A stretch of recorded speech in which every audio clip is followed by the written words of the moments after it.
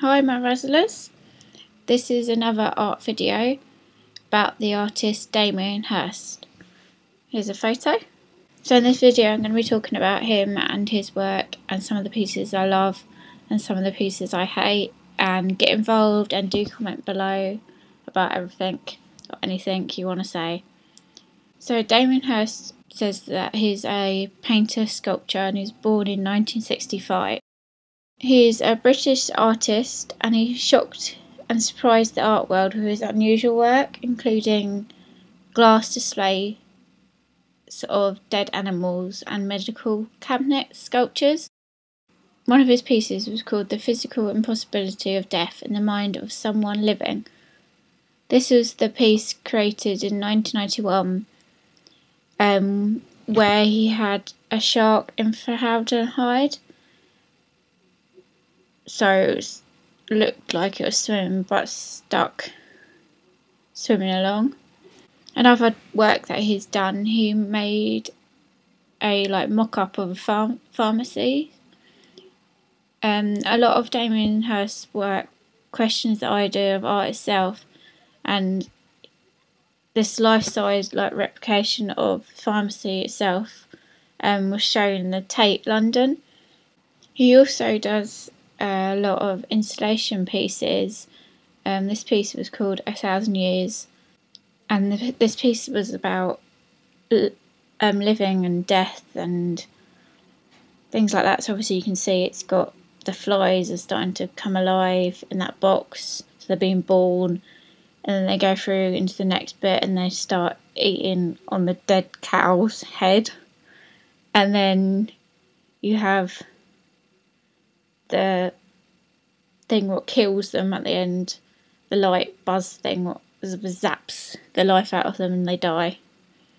So he uses this a lot in his work. Another piece of his work what i really love um, is called the virgin mother.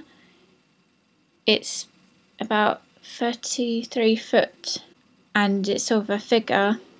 What he says he was kind of inspired inspired by the sculpture Little Dancer of 14 Years by the artist Edgar Degas. What's like a ballet dancer.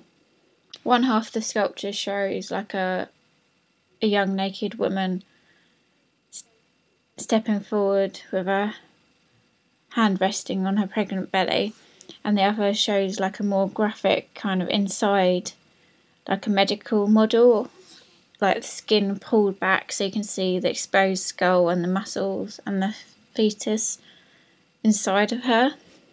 It's very graphic, but I think it's pretty cool. Don't know what you guys think. Obviously, comment and say.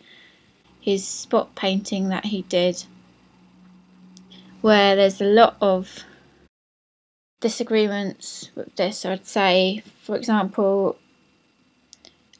with this painting, he used a lot of assistance with it. So most of the spot, well, all the spots, I think, for some of them he might have done, he used assistance.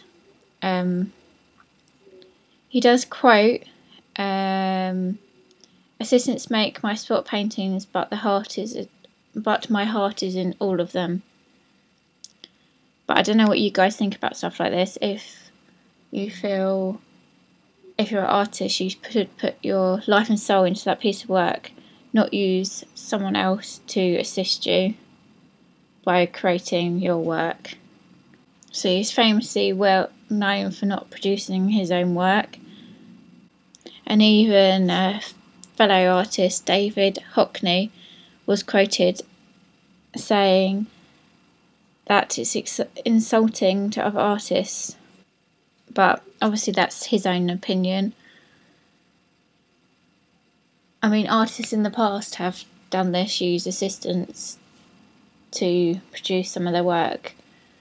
But is this still necessary in a modern day world? I'm not too sure.